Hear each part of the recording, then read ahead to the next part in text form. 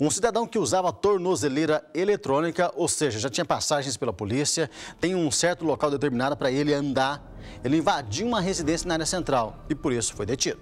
Felipe Lucas da Silva, de 21 anos, foi preso pela Rádio Patrulha ao invadir a garagem de uma residência na Rua Bahia, no centro, na noite deste domingo. Segundo a vítima contou à polícia, o suspeito estava forçando a porta do carro para furtar. O preso, que já cumpre pena no sistema aberto usando tornozeleira eletrônica, descumpriu também a determinação judicial, pois deveria estar em casa antes do anoitecer. Ele foi encaminhado à décima subdivisão policial e assinou um termo circunstanciado por invasão de domicílio e foi liberado em seguida. Mesmo ali, com certeza ia fazer o arrombamento da residência. Não conseguiu êxito aí porque o proprietário da mesma chegou do trabalho e flagrou mesmo ali é, tentando mexer no teu veículo que estava estacionado já na garagem da residência. Felipe tentou contar uma história dizendo que ele foi ali para beber água, mas ele já estava dentro da garagem e um fato curioso é que ele estava usando tornozeleira num domingo à noite que ele estava completamente fora do local onde ele deveria estar.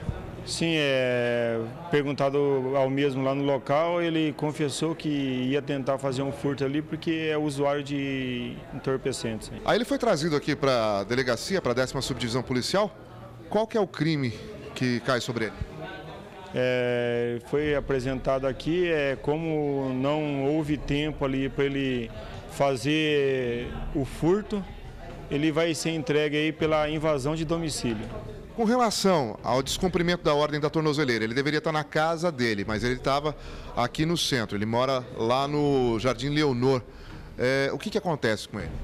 É, vai ser feito aí o TCIP pela invasão do domicílio e noticiado aí à autoridade competente Ministério Público que o mesmo é, descumpriu a ordem aí. Aí com certeza é, será caçado esse uso de tornozeleira para cumprir fechado. Ô Felipe, verdade que você estava tentando roubar um carro ali?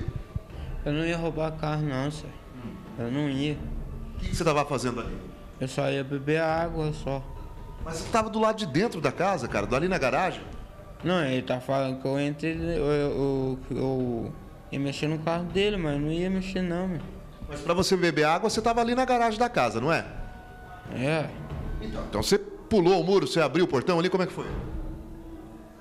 Foi abrir só o portão só. É. Ele, nesse caso aí, como não houve nem a tentativa, ele invadiu a casa, não chegou a mexer na porta, no carro, não deu tentativa de furto, não daria. Mas como ele está com a tornozeleira eletrônica, ou seja, ele já recebeu um benefício da justiça.